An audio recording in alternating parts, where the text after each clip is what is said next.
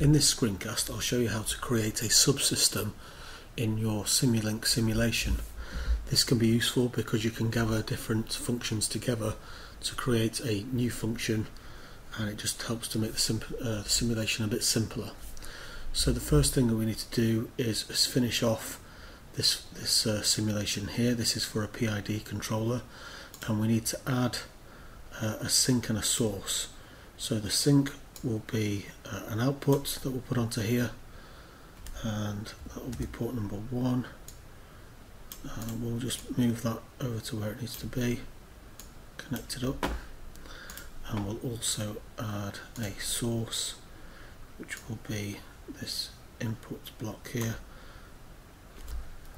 port number one we'll link that up and then we simply click highlight everything and then release the mouse button. And then we right click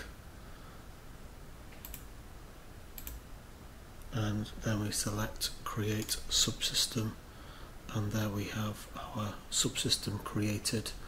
And then we can go on to use that for other things. We can build that into a bigger simulation like a PID control loop for example and overall that is how you can create a subsystem in Simulink.